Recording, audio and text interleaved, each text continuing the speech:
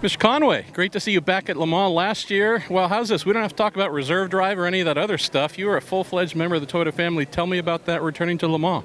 Yeah, it's a great feeling actually. Kind of sinking in more now that we're here doing the scrutineering day, get to see all the fans and uh, had a taste of it obviously last week uh, being on track, but it's great to be here now and got a full attack uh, in an LMP1 car. Obviously, you've had a chance, uh, full run up to this event. Uh, what's that been like coming into Le Mans warm and ready in this car?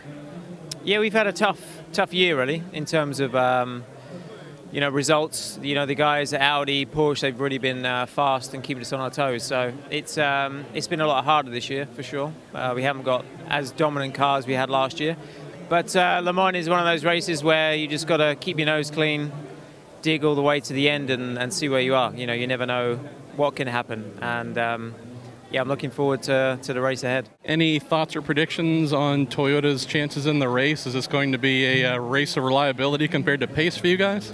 It could be. It could be. Yeah. I mean, I think we just solely rely on speed. You know, we, you know, it looks like it might be hard to beat Audi and Porsche, but just from the test day speed anyway. So, but we'll see. I don't think we brought everything that we could have brought to uh, and showed what we had at the test day, but I think for sure it will still be difficult. But um, you know, we're going to be pushing, digging hard all the way to the end, and if reliability comes in, reliability comes into it, then maybe they'll favour us. We miss you over in the States. Have you been staying close with uh, your friend Ed Carpenter? Had a chance to watch any of the races this year?